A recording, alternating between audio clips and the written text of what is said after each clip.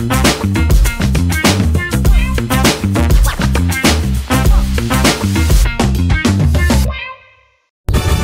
there everybody.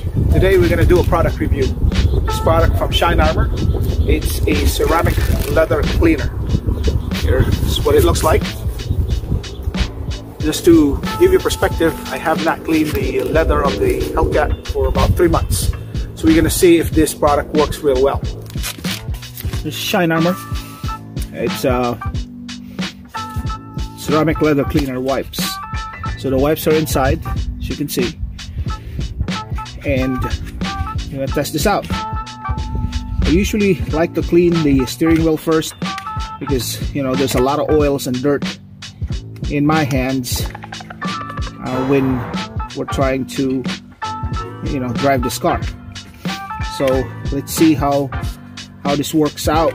I like it because it's wipes. Uh, you know you don't get the overspray of you know the spray on wipe so the structure of this is to wipe the leather like this, like so. So you can clearly see that it's cleaning this. It's probably this is probably the dirtiest leather here in the car is is in the steering wheel. Because as you know, um, you know your hands are always dirty, and you know the oils and all the dirt in the hands go come in contact with this leather right here. So that looks that looks nice and clean. Let it dry out and buff it shine. That's the instruction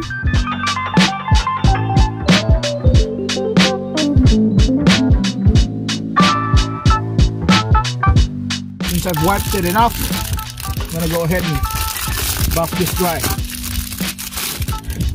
They provide you with two towels. Buff this to shine.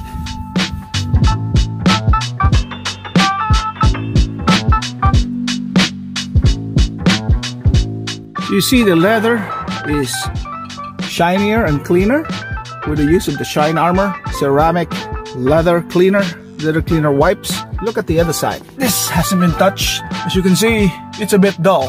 It doesn't have the shine and in fact there's dirt over there. Let's try that out there later as this one.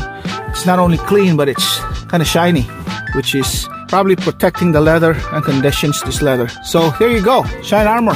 Check it out. I'll link the product in the description below so you guys can can purchase the product with a discount through my through my link okay? So hopefully this video was helpful to you. Highly recommended. The results are outstanding. I'll talk to you later. Take care